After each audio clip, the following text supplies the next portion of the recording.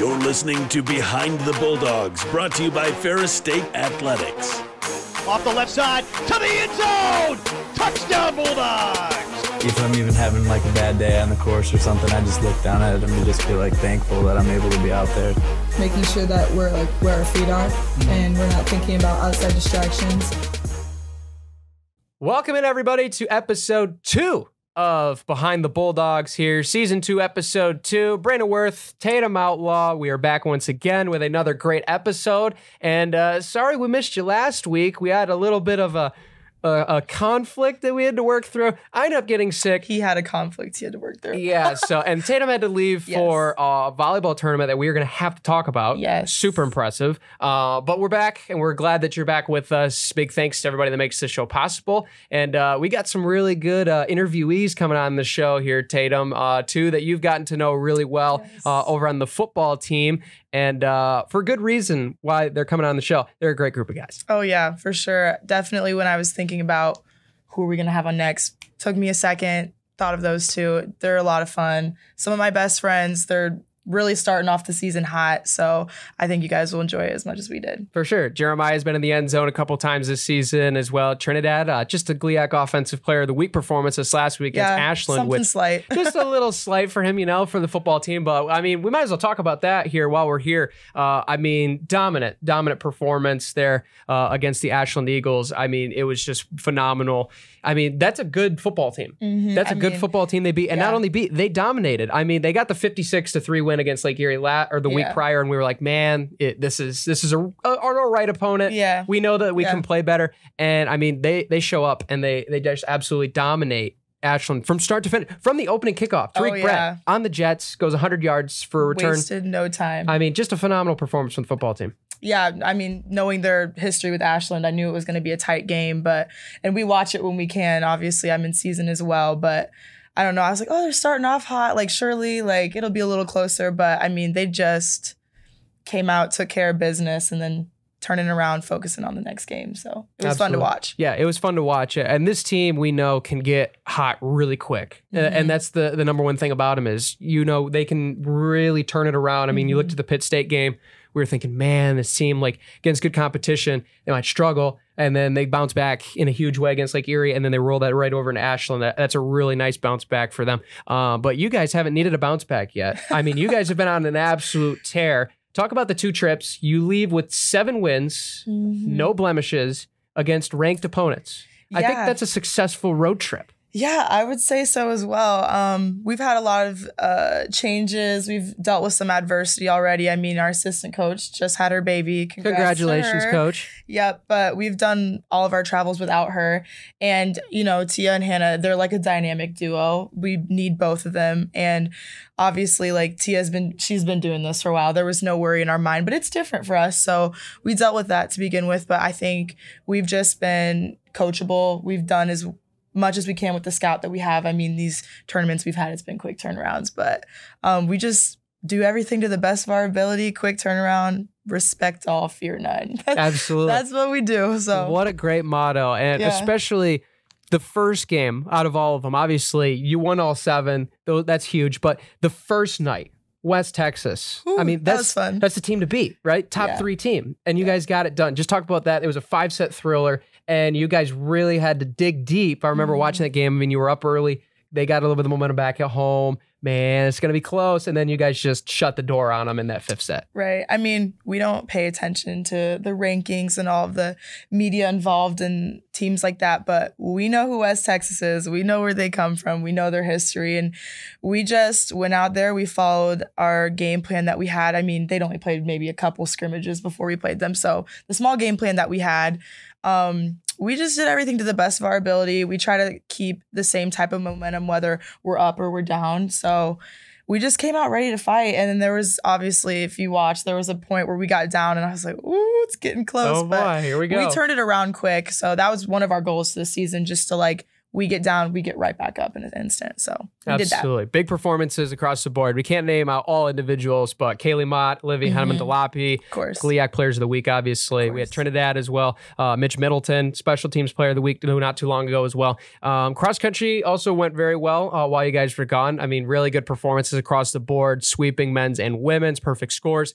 And uh, the team's obviously rearing back. They're, they're at a really good performance at Michigan State as well, which is always a hard place to run. I mean, it's only Oh, like sure. 90 degrees in a wide open golf course every single year, regardless of when the meet is. It always happens to be 90 degrees, humid, and gross. Um, but they did very well. They were very gritty. Uh, and you got to see that on display. Cooper Source and Hannah Brock leading the way um, for this group. And that's the two that you'll be especially watching out for top on both sides. But uh, the team definitely has some depth. The, the spread looks good as far as from one to five, the time as far as what spread means. Obviously, the first time to your fifth time in scores, you'd like to get that as close and as far up as possible. Right. So spread looks good. Uh, would love to see the back end starting to move up, but that's something that will take time with a, a really young group. So uh, there'll be a couple split squad meets upcoming. They'll be at Lansing, then they'll be uh, going a little bit on the travel books, like volleyball just went on, going to Kentucky as well as Illinois. So that'll be fun. Um, soccer as well, uh, getting off against some really, really tough teams. yeah. I mean, especially you Tough talk about schedule. yeah, Cedarville to start the year is a really good team. Then you go play some former GLIAC teams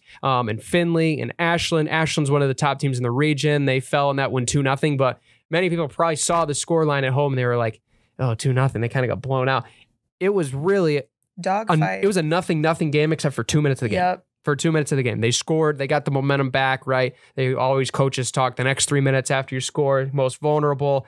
They end up giving up another goal. But I mean, especially when it looks like this defensive group uh, really, really played well in these first three games. Um, and the offense has been there, just needed the consistency, Right. especially in these bigger games. Yeah, I mean the fall this fall sports are just having a ball right now. I mean, schedules are tough for everyone, but I think everyone's been working super hard. I know us we can kind of see into the athletics a little bit more.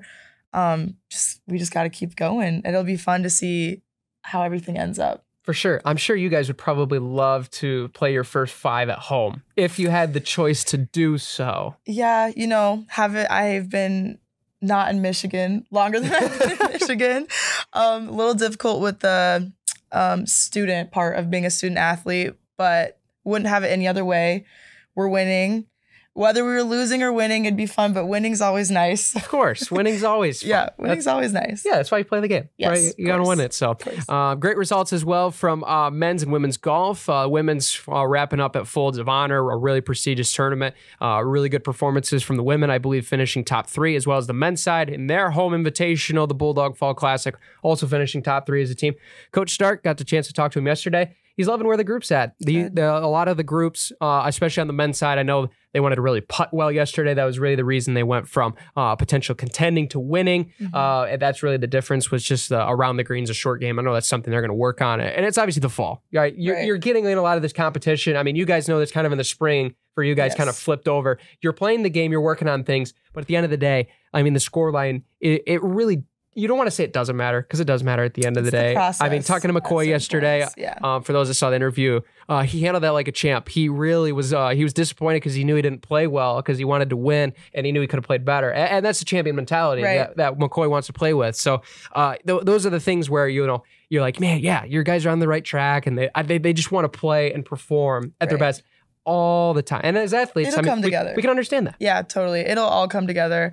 I think especially for the teams in their quote unquote off season right now. Never is there really an off season, but Never. it'll all come together. It's a time to figure things out. If you're gonna make the mistakes, make it now, you know? Yeah, absolutely. Big shout out to tennis as well. Some good uh, fall results coming up here with that schedule for Coach Doran. Uh, we'll get into them as more uh, the season goes on for their fall season, uh, gearing up for the spring. But uh, really fun things happening here at Ferris State, Oh, and yeah. uh, very fun things. Obviously, since we uh, here before we get to the interview, we'll touch on this. New facilities on the way. I know Tatum, you're probably very excited as much as I am, just to see you have.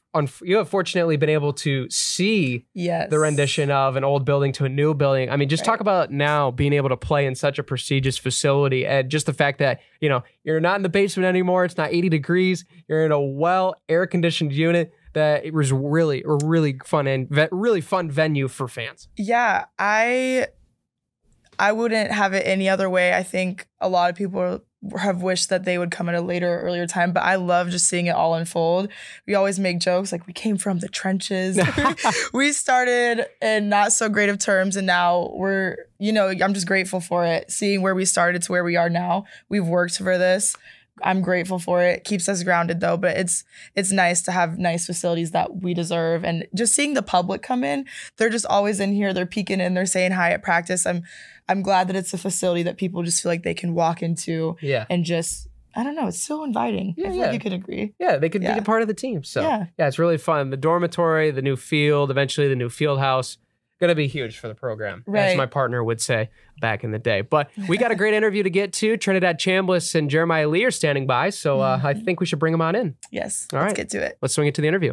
Now joining us here in studio, we got a pair of Ferris State football players joining us, Trinidad Chambliss and Jeremiah Lee. Fellas, what's going on? Welcome to the show. Thanks for having us. Thanks for having me. Yeah, it's great to have you guys on the show and uh, bye week for you guys. A little bit of an early bye week, but of course, we got to start out with thumping against the Eagles, a team that you guys have played very close. Ferris State has played very close in years past. It was really hyped up to be a close game. What was it about the opening kickoff and then on out to the final whistle that you guys just went out there and just dominated that football game? Yeah, going into the Ashland game, um, we've actually had you know trouble with them before, and um, uh, going into it, you know, we thought they'd be a decent team, and they were. Um, and it was good to you know have a start like that. You know, Tyreek being electric. You know, kickoff return turn was money, and um, you know for first drive offensively, um, it was great to you know get down there and get a get a good quick score. Yeah, coach. Coach really wanted us to come out hot and uh, you know make ourselves like out there. You know, I mean, like be a come in the game ready to go. Defense coming in hot. Uh, special teams, everything. So you know we did that. And Reek uh, returning that first kickoff was crazy. So you know that set the tone for the whole game and it got us rolling.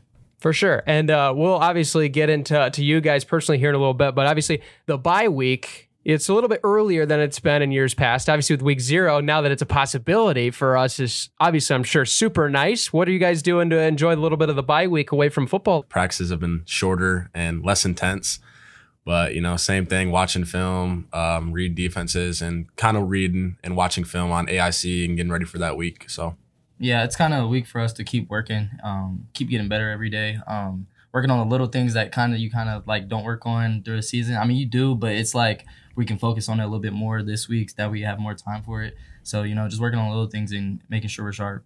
For sure. I would imagine that my partner to the left would love to have a bye week uh, in your part of the season, but you guys are going right at it too. So, uh, but bringing in Tatum as well from an athlete's perspective, uh, when it comes to really coming back from the bye week, obviously your guys' schedule, your routine changes so immensely when it comes to a bye week. Obviously, same routine, same practice, but I mean, you're not necessarily going through the mental reps. What are those things that you do uh, over the bye week and then really kind of the week after to get back on sharp, get back into the game, especially being such a big game coming out after the bye week, going on the road to a team that you only played once before last year? yeah, um, during the bye week, we just got to stay focused and stay sharp and not get in that laissez-faire approach, um, and just stay sharp, honestly, and be ready for AIC. Uh, I know it's going to be a long trip all the way in Massachusetts, um, so we just got to be sharp and just ready for you know to play and you know not lose focus. So. Yeah, kind of like what he said. Stay focused. Um, I mean, now now that we have this bye week, we honestly can be watching film. So hopefully we can watch a little bit more film and prepare and be ready to go by next week. For sure. Uh, when it comes to your guys and your journeys, obviously we got Tren in our one of our recruiting class out of Forest Hills. Jeremiah, a little different. You decided to come as a transfer from U Indy. Uh, just talk about both of your Bulldog experiences and uh, what led you to Ferris State in the first place. Uh, me personally, um, my high school coach, I think, reached out to Coach Annese. Uh, I wasn't really, you know, a crazy prospect in high school. I usually actually, I actually played basketball, and I thought I was going to play basketball in college.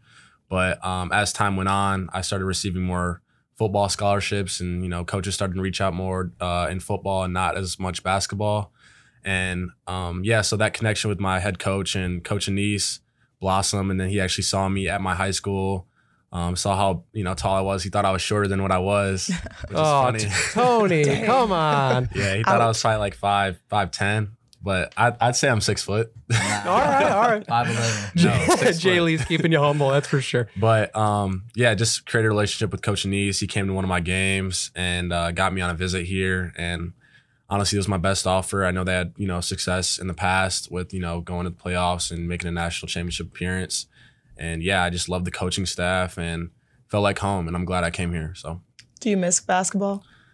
Uh, yes, I do. Um, occasionally we play pickup basketball in the Wink Arena with our teammates. And yeah, I get that, you know, itch or Yeah. whatnot to play basketball again. I've actually talked to Bronx about maybe playing, but I don't know. We'll see. I'm pretty rusty right now. Wait, wait, wait. Fifth Dual year. sport? We'll see. Fifth year on the basketball team. There you go. it's This gonna have to take like a summer for me to, you know, get back in the swing of things. But I don't know. We'll see. That's a possibility. But right now, focus on football. So Okay. It's funny. Nice. Um, yeah, I'm kind of the same way. Uh, coming out of high school, I wasn't really recruited that like highly. Um, so UIndy was my best offer, so I went with UIndy.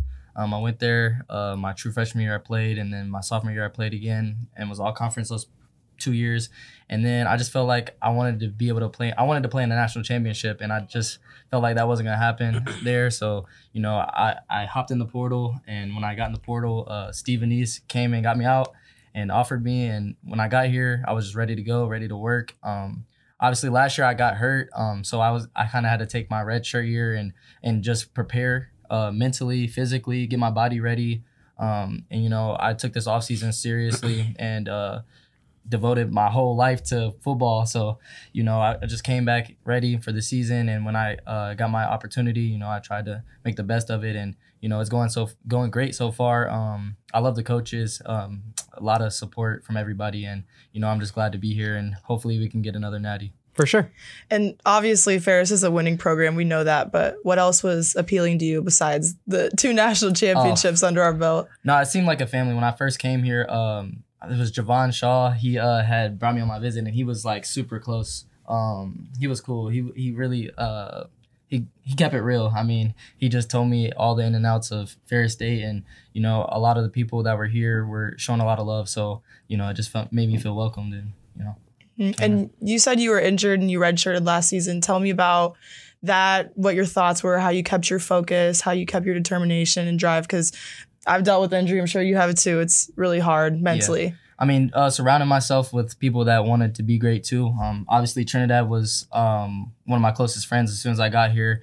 And, you know, me and him were both really focused on having a good year and trying to come in strong and be able to help the team win. So keeping somebody like that close to me was good for me. And, uh, you know, I try to motivate him too and keep him going too. So, you know, it's like, uh, it's a great thing to have. You feel me? Like, just Yeah. a good person to have around me. So, you know, I just can't be focused. Yeah, and I can, I mean, and I know you personally, but I can definitely see the motivation and drive you have. And it shows this season because I think you started out hot and showed people who you are, why you're here. You're here to work hard and get stuff done. So, Yeah, absolutely. Yep. Yeah, for sure. Uh, and especially for you guys, I mean, wearing the Bulldog is really an honor. And it's an honor that a lot of people in their careers will, will see. And it's always a crowded room. Obviously, Jeremiah, you see that Yeah. here in your first year. Trent, you've obviously been through the ranks of all the quarterbacks. Yep. I mean, just talk about, especially, I mean, Coach Annese, he, he likes to play multiple guys at multiple positions at multiple points in the game. Just talk about the interaction that you have with each other and, you know, the sacrifice that it really takes to, you know, we're going to play multiple quarterbacks in a game. We're going to play a lot of different looks when it comes to our skills, guys, and uh, just how you guys adapt to that. Yeah, obviously, uh, coming to Ferris State, you know what you're getting into. Uh, great athletes from all over the country. Uh, we get recruits from Florida, uh, obviously Michigan, just all over transfers in the transfer portal. And so we knew that, and we know that coming here, we accept the challenge. Uh, you know, going to battle or going to you know compete with you know other athletes in camp and uh, during the season, and it just pushes us and it keeps us you know keep getting better. And me and him, I know he mentioned that in the off season, um, us like you know kind of sharpening each other and you know making each other great. And uh i can appreciate him because when he first came here um he helped me you know stay consistent in the weight room and stay consistent you know with film and whatnot and just staying focused on football.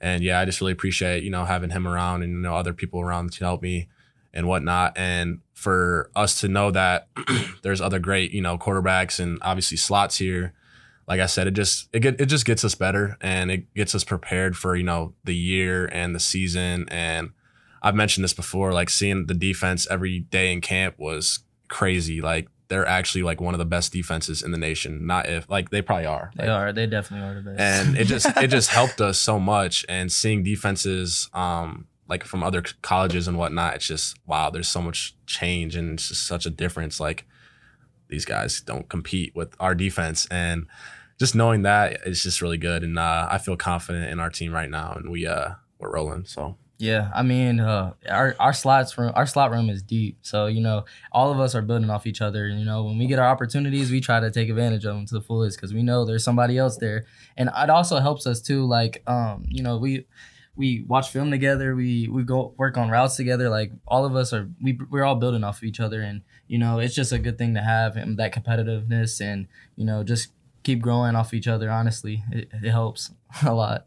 Yeah, for sure. We'll get into the fun stuff now. Outside of football, what do you guys like to do?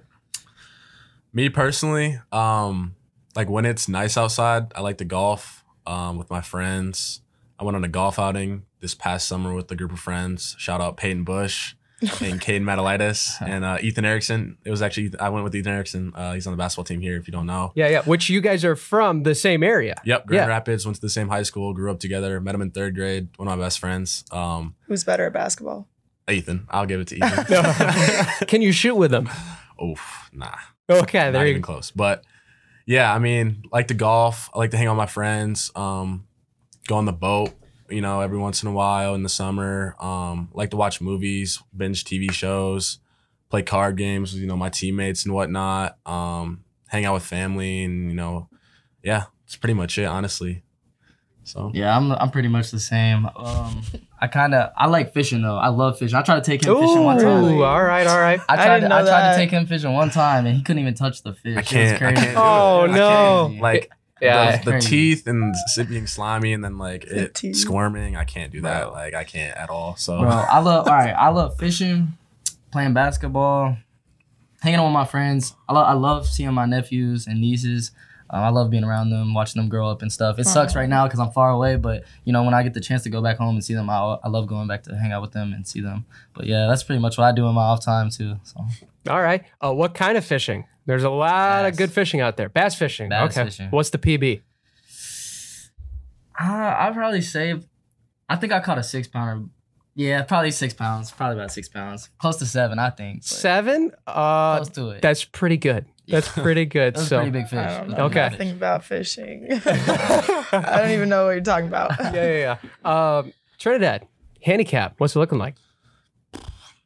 I have no idea, honestly. It's been so long. My friend actually is coming up here this weekend, Peyton, as I mentioned him before. Um, he said he wanted to golf at Katke, and I was like, dude, I haven't golfed in since summer. Like it's been so long. And Yeah, yeah. You know, with golf, you got to stay consistent to be Have good. to. So Have to. I'm not sure. I don't know, but We'll do another episode and then we'll check back in and see Okay. how you did Yeah. this weekend. We- There we go. Yeah. Once we get to another football episode, Yeah. we'll bring it back. Say, hey, how's Trin's uh, golf game going? yeah, we'll hold you Trin's golf- accountable on that. Yeah, Yeah. for sure. So uh, we appreciate you guys coming on the show, and uh, we'll leave you with the last question, as always, when we ask every single individual on the show. What's your favorite thing about being here at Ferris State and being a Bulldog? um, you want to go first? I can go first. All right, go Um, Go for it. I love how competitive we are. I love how every every sport at this school is competitive. Um, I, and I love the support from all the teams and everybody just you know gathering around and coming to all e- each other's v- events and you know just showing love to everybody. So that's why. Um, I would have to say the people here. Um, like I've met one of my best friends or many of my best friends on the football team, uh, basketball team. Um, and yeah, just the relationships that I created here have just been amazing. And I can bounce off with that too. Like, yeah, all the guys here are great athletes and I just like being around great athletes because it makes me better. So just, yeah, just being around great people and creating relationships. So Awesome. Well, thank you guys so much Yes, for joining you. us. we Thank you. appreciate your time and uh, enjoy the bye week. yeah, You guys earned it. Thank, you. Big thanks to Trinidad and Jeremiah for joining us. Two more great guests. We can't wait to bring on more for you guys here this fall. And uh, uh, Tatum, it was your idea to bring them on, so I got to give you credit. really, really nice picks. Uh, what were some of the things that you really enjoyed in that interview? Yeah, um, just hearing like the inner workings of how their practices are going, their thoughts about season, hearing about Jeremiah's transferring. I mean, I don't think I've ever asked him about that before. Hearing how he's redshirted, I think these guys have got a great mindset, and I'm just excited to see how they do as the season progresses. Yeah, it's gonna be really fun, and I really love uh, for those of you that have seen the episode now, you'll see the artwork of the picture that we use with both of them. Both hugging in the end zone. It only seems fitting, right? I mean, for those guys, it's not necessarily a bromance, but it kind of feels Yeah. that way when they're they're together. And it's it's incredible to see the football guys, especially a lot of them. You see a lot of transfers coming in. You know, they want a Mhm. piece of Ferris State, they want a piece of a national Mhm. championship game, and we know how to get there. And so you see these guys from all walks of life coming together, and it's really a family at the end of the day. It's just really cool to see stuff like that. Yeah, I agree with that. And that's also why I wanted to have both of them on at the same time because I know they have that tight bond. They motivate each other and they even said that themselves. So I just think it's cool to see like how teammates can become brothers, be best friends. They've got each other along the way and I just like seeing how they feel each other up. That's the best. Yeah, absolutely. So we'll leave you with the Ferris State Sports Slate before you go so you know what to be on the lookout for here this upcoming week. And uh, there's a lot starting on Friday, the 20th, uh, cross country at Lansing Invitational. That'll be a split squad, most likely from uh, my sources, Schefter style. Um, you'll see a little bit of uh, a, a split squad, men's and women. So you won't see the full 20 on each side. You'll see probably about 10 or 8. Um, so they'll be competing. Congrats and uh, ahead of time, and uh, good luck to them, um, as well as women's soccer at Roosevelt, newest member of the conference, Oh, going to their place. That'll be fun. Excited to see That's how a that goes. That's a, yeah, for sure. Three o'clock game there from Roosevelt, and uh, you guys have a, a little game, uh, just a little game. just a small Yeah. game. yeah, pretty much the national game of the week, which you guys don't care, which Yeah. is great. game's a game. Yeah, six o'clock at Allendale against enemies, and it'll be a really fun game. And uh, as well, you guys will play at Wayne State on Saturday, the following day, two o'clock. So uh, you can be on the lookout and uh, cheer on for my partner and her team. They're doing a great job right now.